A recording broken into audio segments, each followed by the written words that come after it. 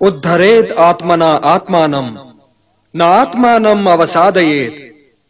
आत्मैव ह्यात्मनो बंधु आत्मैव रिपुरात्मना।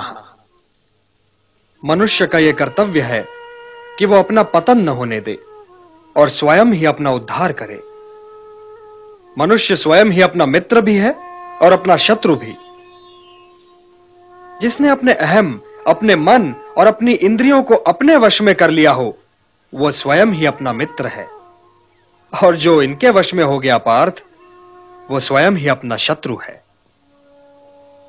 जो शीतकाल और ग्रीष्म काल सुख और दुख, मान और अपमान में शांत रहे और संतुलन रखे, वो जितेंद्रिय पुरुष सदैव परमात्मा में लीन रहता है। किंतु हे पार्थ, बहुत खाने वाले या बिल्कुल ही न खाने वाले या अधिक सोने वाले या बिल्कुल ही न सोने वाले को यह योग सिद्ध नहीं होता। जीवन संतुलन का नाम है पार्थ, और संतुलित ढंग से जीने वाले मनुष्य का योग उसके दुखों को हर लेता है। जैसे वायु रहित स्थान पर दीपक की ज्योति निश्चल रहती है, वैसे ही मोह रहित योगी भी निश्चल रहता है। चंचल मन को मनमानी न करने दो पार्थ, उसे रोको। और उसे अपने आत्मा का अधीन बनाओ। तुम्हारी उलझनों का यही उपचार है। मेरी ओर देखो पार्थ, मेरी ओर देखो। जिसे हर दिशा और हर वस्तु में केवल मैं ही दिखाई दूँ, वो तो कभी भटक ही नहीं सकता। जो मुझे नहीं भूलता पार्थ, मैं भी उसे नहीं भूलता। वो तो सांसारिक जीवन व्यतीत करते हुए भी, संसार से अलग और मेरे भीतर रहता है। हे अर्जुन जो योगी सबके सुख दुख को अपना सुख दुख माने वही परम श्रेष्ठ है। आत्मा उपम्येन सर्वत्र समम पश्यति योर्जुन सुखम वा यदि वा दुखम सयोगी परमो मतः।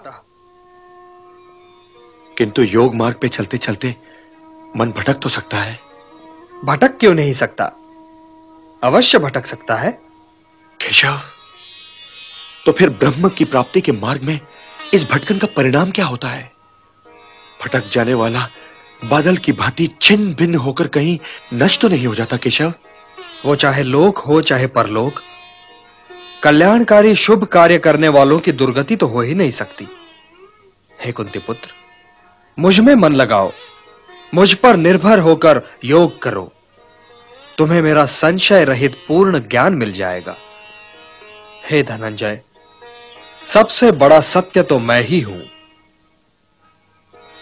मैं ही वो धागा हूँ, जिसमें ये सारी प्रकृति मणियों की भांति पिरोई हुई है। हे कौंतेय, जल में रस मैं हूँ, सूर्य और चंद्रमा में प्रकाश मैं हूँ, वेदों में ओमकार मैं हूँ, आकाश में शब्द भी मैं ही हूँ। मैं ही पृथ्वी में पवित्र सुगंध हूँ। मैं ही अग्नि में तेज हूँ, प्राणियों में जीवन शक्ति मैं हूँ, तपस्वियों का तप मैं हूँ। हे पार्थ, प्रारंभिक बीज मैं हूँ। बुद्धिमानों की बुद्धि मैं, तेजस्वियों का तेज मैं। बलवानों में काम रहित बल भी मैं ही हूँ, और प्राणियों में धर्म के विरुद्ध न जाने वाला काम भी मैं ही हूँ। मैं सब में हूँ पार्थ, किंतु सबसे अलग भी हूँ। मैं अविनाशी हूँ, मैं निर्गुण हूँ। हे पार्थ, मैं बीते हुए सारे कालों, इस बीतते हुए आधुनिक काल और आने वाले सारे कालों के सारे प्राणियों को जानता हूँ, परंतु मुझे कोई नहीं जानता। मैं ही जगत का पिता भी हूँ, माता भी और पोषक भी। मैं ही ऋग्वेद हूँ और मैं ही सामवेद। मैं ही स्वामी हूँ और मैं ही शरण। मैं ही सृजन हूँ और मैं ही विलोपन। मैं ही सब का आधार हूँ पार्थ। मैं ही सब कुछ हूँ, सब कुछ। ग्रीष्म भी मैं और वर्षा भी मैं हूँ। और हे पार्थ मैं ही संसार का अविनाशी बीज भी हूँ। मैं सबका अति प्रिय मित्र हूँ, किंतु सबके लिए एक जैसा हूँ। न कोई मुझे प्रिय है और न ही अप्रिय। परंतु जो मुझे श्रद्धा से पूजते हैं मित्र, वे मुझमें हैं और मैं उनमें। समोहम सर्वभूतेषु, न मे द्वेषुस्ति न प्रिय। ये भजन्ति तुमाम भक्त्या। मयि ते तेषु चाप्यहम।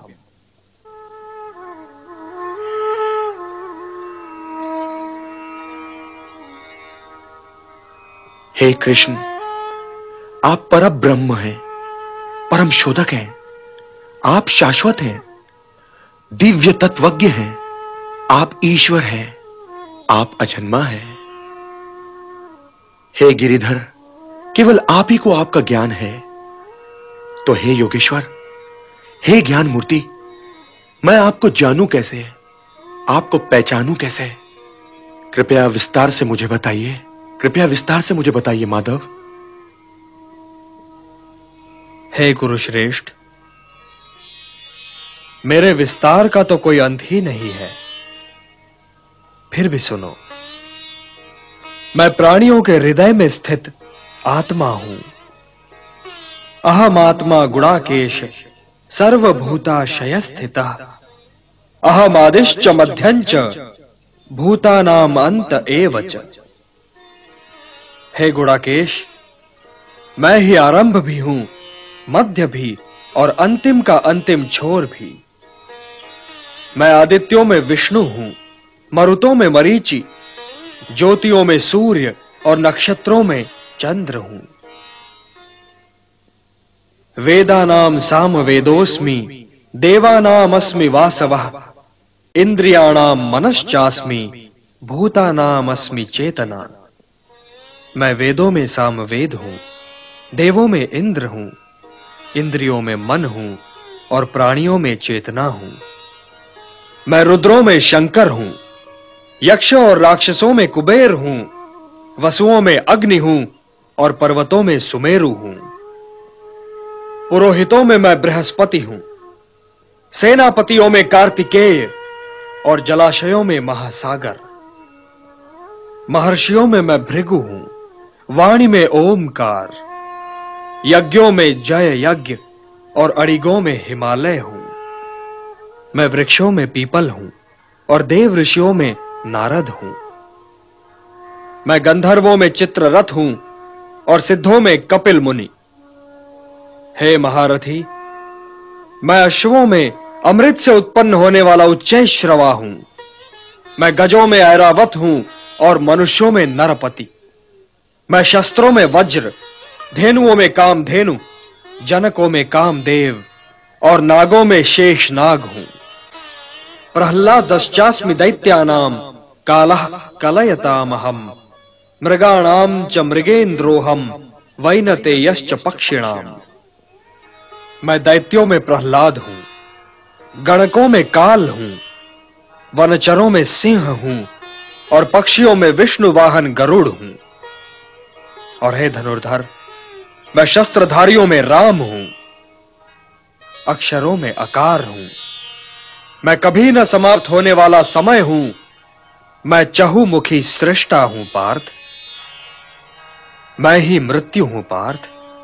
और मैं ही उन सब का आरंभ हूँ, जो आने वाले कालों में जन्म लेने वाले हैं, और अभी तक जिनके आरंभ का आरंभ ही नहीं हुआ है।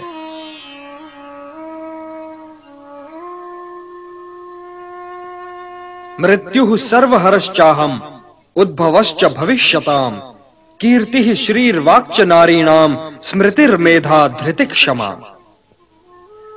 मैं स्त्रियों में कीर्ति, श्रीवाक, स्मृति मेधा, धृति और क्षमा हूँ। मैं ऋतुओं में ऋतुराज हूँ और तेजस्वियों का तेज हूँ। मैं गुण हूँ, मैं विजय हूँ, मैं प्रयत्न हूँ। मैं यादवों में वासुदेव हूँ और पांडवों में अर्जुन। मैं मुनियों में व्यास हूँ और कवियों में शुक्राचार्य। यच्चापि सर्वभूतानाम बीजम तदहम अर्जुन न तदस्ति विना यत् मया भूतम चराचरम। मैं ही तो उत्पत्ति का बीज हूँ पार्थ। वो चाहे चर हो, चाहे अचर, मेरे बिन तो हो ही नहीं सकता। मैं प्राणों का प्राण और जीवन का जीव हूँ।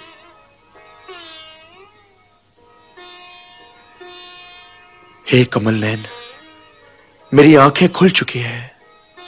दुविधा और आशंका के बादल छट चुके हैं। आपने जो कहा, वही सत्य है, और उसके अतिरिक्त कोई सत्य नहीं।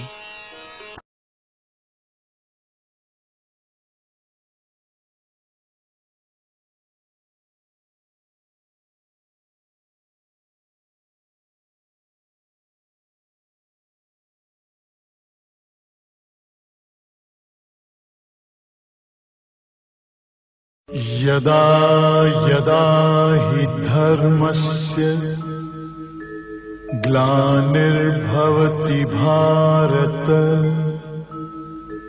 अभ्युत्थानम् अधर्मस्य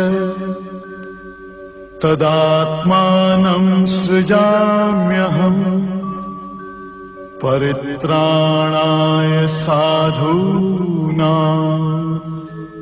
विनाशाय च दुष्कृता धर्मसंस्थापनार्थाय सम्भवा